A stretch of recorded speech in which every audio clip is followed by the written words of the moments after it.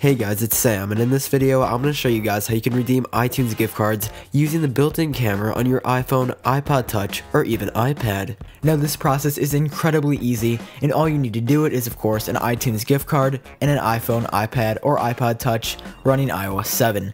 So let's go ahead and get started. The first thing that you're going to want to do is launch the App Store on whatever device you're using, iPhone, iPad, or iPod Touch. From there, scroll all the way down to the bottom where you can see your account information and then the little button that says redeem.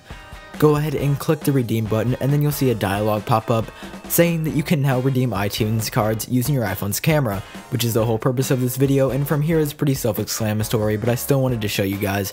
So go ahead and click the use camera button.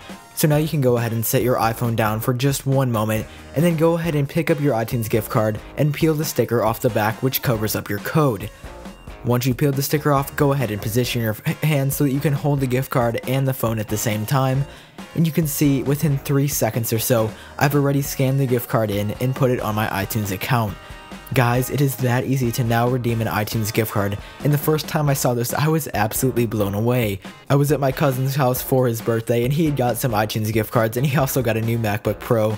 But anyway, he started redeeming them using the camera on there, and it was so fast, it just blew my mind away. So I'm like, oh my goodness, I have to show my subscribers this.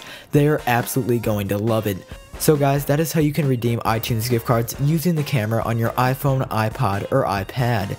If you are interested in more content, make sure you click that subscribe button. But thanks a lot for watching this video, and I'll see you guys later.